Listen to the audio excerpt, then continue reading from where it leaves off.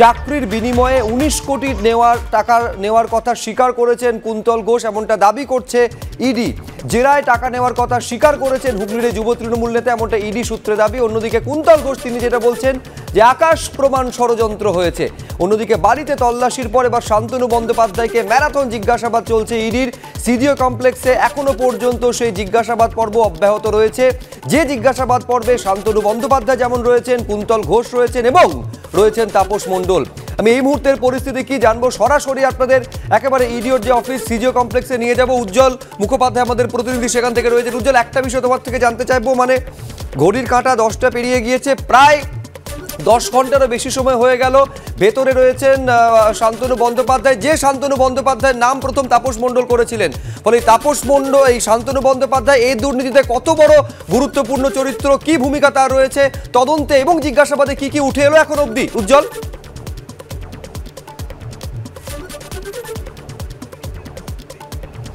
দেখো, এখনও পর্যন্ত আমরা ইডি সূত্রে যেটা জানতে পারছি সেটা হচ্ছে তিনজনকে এই মুহূর্তে আমরা যেখানে দাঁড়িয়ে রয়েছি, তার থেকে ওপরে যে বিল্ডিং রয়েছে, সেখানে বসে তিনজনকে মুখোমুখি জেরা করা হচ্ছে। আজকে সাড়ে এগারোটার সময় শান্তনু শান্তনু বন্দ্যোপাধ্যায় এখানে আসেন এবং সাড়ে বারোটা থেকে তার জেরা শুরু হয়। এরপরে তাপস মণ্ডল এসে পৌঁছান একটা নাগাদ এবং কুন্তল ঘোষ যেহেতু ইডির হেফাজতেই ছিল প্রথমে আলাদা আলাদাভাবে প্রত্যেককে জিজ্ঞাসাবাদ করা হয় এবং তারপর দুজনকে মুখোমুখি বসিয়ে জিজ্ঞাসাবাদ করা হয়। অর্থাৎ শান্তনু বন্দ্যোপাধ্যায়ের সঙ্গে একবার তাপস মণ্ডলকে বসানো হয়, একবার কুন্তল ঘোষকে বসানো হয় এবং এখন এই মুহূর্তে তিনজনকে একসঙ্গে বসিয়ে জিজ্ঞাসাবাদ চলছে এবং যেখানে যেখানে অমিল উঠে আসছে, সেই জায়গাগুলোকে কিন্তু ক্লিয়ার করার চেষ্টা করছে। একটা সূত্র কিন্তু, ইডির একটি সূত্র থেকে যেটা জানা যাচ্ছে যে আরও অনেক বড় চক্রের কিন্তু ক্রমশ হদিশ পেতে শুরু করেছে ইডি আধিকারিকরা। এই তিনজনের কাছ থেকে যে যে নাম উঠে আসছে আরও একাধিক নাম তাদের কাছ থেকে উঠে আসছে বলে খবর এবং সেগুলোকে খতিয়ে দেখে আরও কতদূর পর্যন্ত ইডি এই জাল গুটিয়ে আনতে পারবে? কতদূর পর্যন্ত এই জাল গুটিয়ে আনতে পারে ইডি সেটা অত্যন্ত গুরুত্বপূর্ণ বিষয়। এই তিনজনকে এখনও পর্যন্ত টানা জিজ্ঞাসাবাদ চালাচ্ছে এনফোর্সমেন্ট ডিরেক্টরেট পঞ্চায়েত ভোটের আগে আবারও অশান্ত মুর্শিদাবাদ অল্পের জন্য তৃণমূল নেতা রক্ষা। রানীনগরে তৃণমূল নেতা খুনের পরদিনই নওদায় আরেক নেতার ওপরে হামলার ঘটনা ঘটেছে। মধুপুরে তৃণমূলের পঞ্চায়েত প্রধানকে লক্ষ্য করে বোমাবাজি। তৃণমূল নেতা সেলিম রেজাকে লক্ষ্য করে বোমাবাজি হয়। অল্পের জন্য তিনি রক্ষা পান। রাজীব চৌধুরী আমাদের প্রতিনিধি আরও বিস্তারিত বলবেন।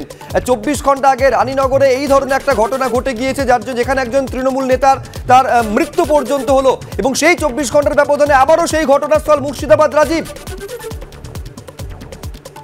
একবারে মধুপুর অঞ্চলে এক ভর সন্ধ্যেতে কিন্তু বোমাবাজির ঘটনা ঘটে এবং প্রধান সেলিম রেজাকে লক্ষ্য করে বোমাবাজি করা হয় বলে অভিযোগ এবং তারপরে এলাকা সন্ত্রস্ত হয়ে যায়। থানার পুলিশ গিয়ে পরিস্থিতি নিয়ন্ত্রণে আনার চেষ্টা করে। নওদার বিধায়ক সাইনে মন্তাজ তিনিও ঘটনাস্থলে পৌঁছান এবং তিনি বলেন যে আহ, পুলিশি সক্রিয় নিষ্ক্রিয়তার অভিযোগ তিনি সেই সময় তোলেন এবং অবিলম্বে অভিযুক্তদের গ্রেপ্তারের দাবিও তিনি জানান এবং নওদার এই মধুপুর এলাকায় বেশ কয়েক মাস ধরেই কিন্তু নানাভাবেই আহ, তৃণমূলের দুটি অংশের মধ্যে কিন্তু গন্ডগোল লেগেই ছিল। তার জেরে এই ঘটনা না এর অন্য কোনো কারণ রয়েছে সেটা কিন্তু পুলিশ এই মুহূর্তে খতিয়ে দেখছে। সুব্রজিৎ। ধন্যবাদ রাজীব। আপনাদের আরেকবার বলব আপনারা জানেন যে একেবারে যে ঘটনা ঘটেছিল গতকাল মুর্শিদাবাদের রানীনগরে গুলিবিদ্ধ তৃণমূল নেতা আজকে তার মৃত্যু হয়। সেই ঘটনা রেশ কাটতে না কাটতে আবারও এক তৃণমূল নেতাকে লক্ষ্য করে বোমাবাজির ঘটনা ঘটেছে। এই ঘটনা ঘটেছে একেবারে নওদাতে। আর এক নেতার উপরে হামলার ঘটনা মধুপুরে তৃণমূলের পঞ্চায়েত প্রধানকে লক্ষ্য করে বোমাবাজি। অল্পের জন্য রক্ষা পেয়ে যান তিনি। সেলিম রেজাকে লক্ষ্য করে বোমা বোমাবাজি হয়।